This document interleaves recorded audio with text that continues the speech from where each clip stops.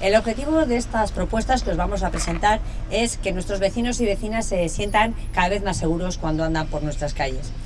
El Partido Nacionalista Vasco apuesta por un modelo de policía de cercanía, en contacto constante con los vecinos y vecinos. Se trata de conocer de la manera más exhaustiva posible la realidad para poder anticiparnos a la comisión de cualquier tipo de delito.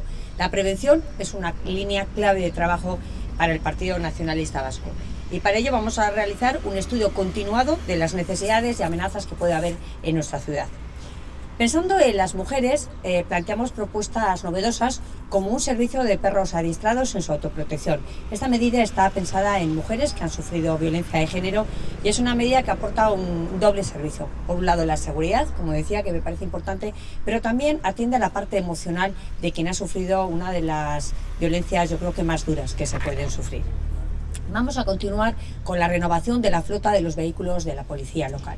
Como sabéis, esta legislatura lo hemos renovado con seis nuevos vehículos y con la unidad de motos, pero continuaremos trabajando en esa línea, mejorando los medios materiales y humanos de nuestra policía local, incrementando en cuanto sea posible el número de policía que tenemos en nuestras calles.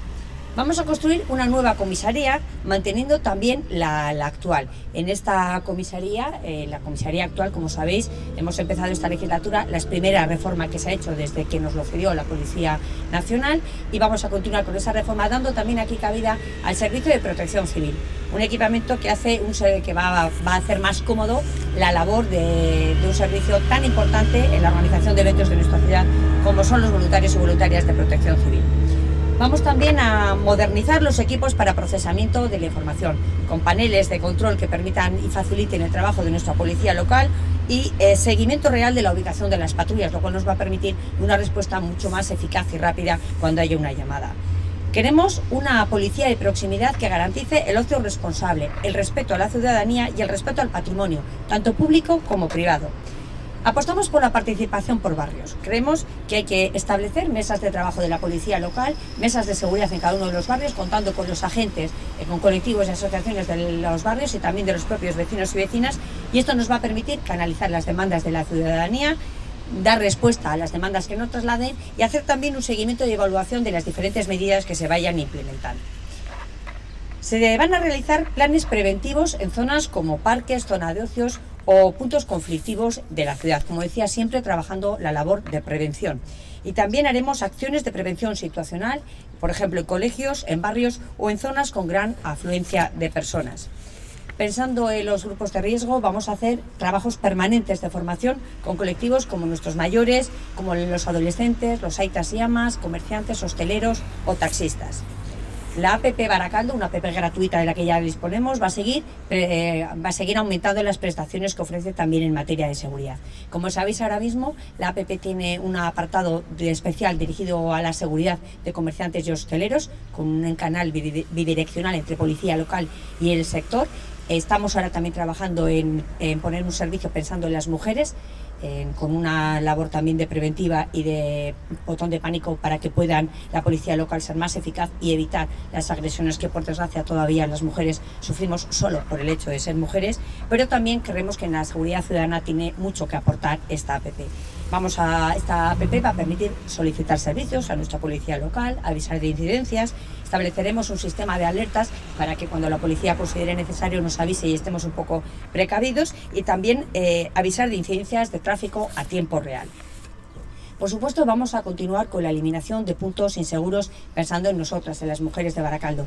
Un trabajo que hemos desarrollado esta legislatura, como sabéis, de la mano de las asociaciones y grupos de mujeres de Baracaldo, no solo en las mesas de trabajo, sino también en los recorridos de la ciudad, con resultados como el cierre de túneles. hay que recordar que los túneles de, de Renfe, aquí en Murrieta, muy cerca, los túneles de Burcheña o los de Retuerto Careaga son por fin ya, forman parte de nuestro pasado. Esa es la línea que creemos que hay que seguir trabajando y eso es nuestro compromiso sin duda una renovación integral del alumbrado público en todos los barrios de Baracaldo.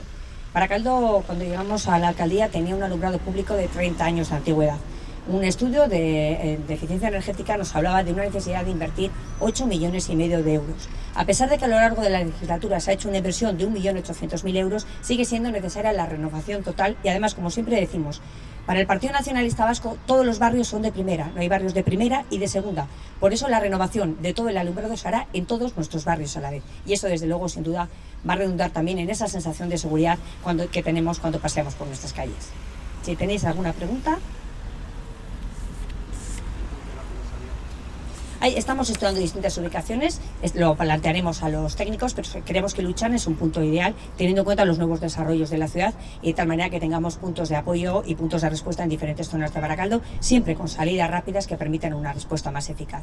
Y además, como decíamos, con ese sistema de panel de controles que se va a hacer, teniendo eh, en el, puestos en el plano de Baracaldo no solo la ubicación a tiempo real de nuestras patrullas, sino también la, la visibilidad de las cámaras de seguridad o cámaras de control de tráfico que vamos a instalar, nos va a permitir dar una respuesta rápida y eficaz.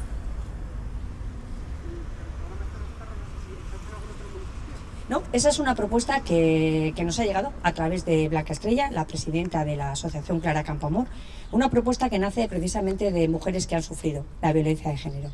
Eh, ellas nos planteaban que este servicio les aportaba, como decía, un, un doble apoyo. Sin duda la seguridad, porque cuando una mujer, a pesar de que haya un orden de alejamiento, siempre es muy duro vivir mirando atrás, mirando si tu agresor, si tu agresor te sigue o lo tienes cerca. Un perro da seguridad, da confianza. Cuando estás en casa te sientes segura y te sientes tranquila y cuando vas por la calle también.